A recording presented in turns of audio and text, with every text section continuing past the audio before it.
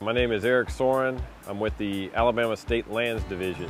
Right now we are here on the Grand Bay Savannah Forever Wild Tract in uh, southern Mobile County and uh, the, the objective of this trip this evening is to flush and capture yellow rails, which is a uh, small marsh bird, very secretive. We have very little information on. Uh, it is a winter inhabitant along the Gulf Coast and the Atlantic Coast, and uh, very little is known about the winter ecology and distribution of this species. So one of the objectives we're out here is uh, we know that they are present out here. They like areas that have a good herbaceous cover, that is a lot of grasses intermixed with uh, some scattered trees. Uh, we call those areas savannas. And we've had our most success flushing and capturing those birds in those habitats. Because they're present, we're looking at certain things like their uh, winter ecology, their habitat needs. What, what attracts them to this area? Why are they coming to this habitats here in, uh, in Alabama? And uh, nobody's explored this to this point, and so it's kind of an unknown. Collectively, this researcher is uh, capturing these birds and uh, outfitting them, doing these things and answering these questions. So, and we're proud to be a part of this effort uh, as far as understanding this species better.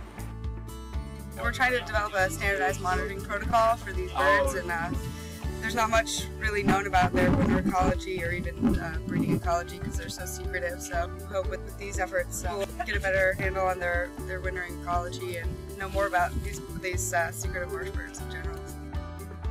So tonight uh, we're going to have some folks out and we're going to use a rope and drag it over the marsh to flush birds. You can't do it during the day, they don't flush, but at night they actually do. We use spotlights and then we run after and capture the bird.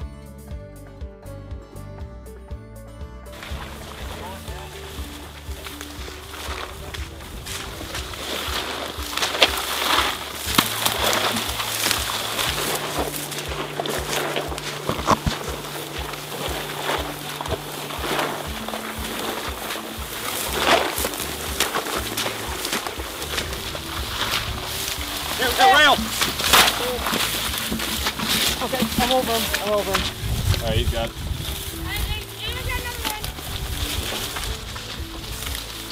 Here, here, here. Sorry, buddy. Got him? I got him. Go for it.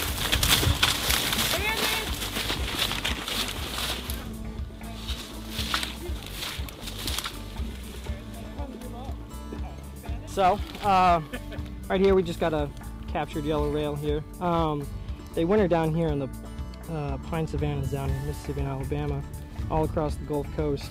Um, you can just tell that they're yellow rail because when you get a nice lighting on them, you can tell it's kind of a, a yellowish brown. Um, generally in their non-breeding plumage here, it's hard to tell if they're male or female.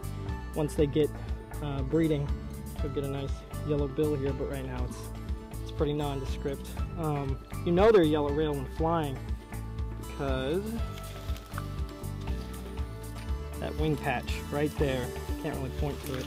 Uh, when they're flying, they're flying off. They it's a bright white. You also in some of these birds you have um, a lot of speckling on the top.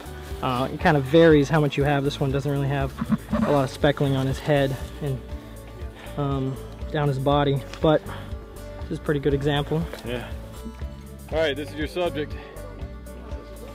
That's a good shot. Sometimes.